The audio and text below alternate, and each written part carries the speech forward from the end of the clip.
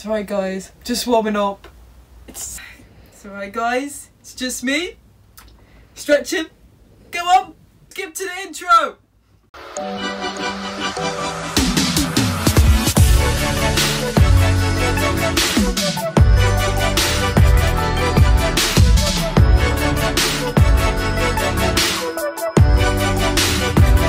Uh, today we're talking about stretching, so everything that I do to stay mobile, as I said in the last video, and um, yeah, it's going to be composed of dynamic and side stretches.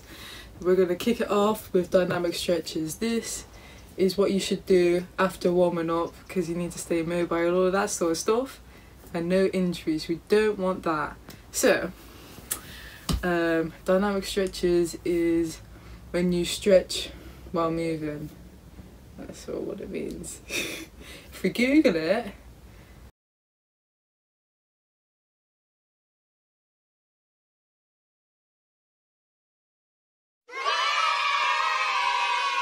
after a warm up, do your dynamic stretches, which should be followed by some static stretches, should be pulse- pulsations to activate your muscles.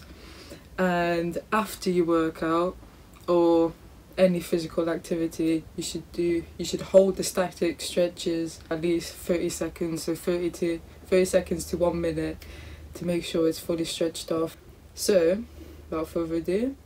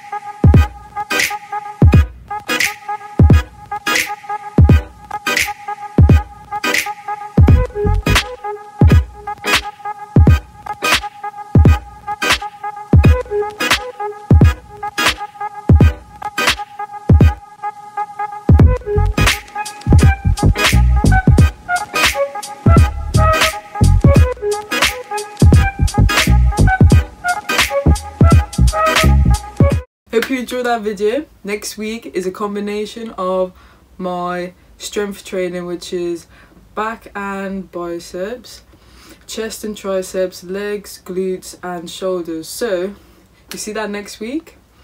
And I'm hoping to get put out an abs video. Come on, it's always important to get them abs in. Come on. It's time to go. Exasperated video!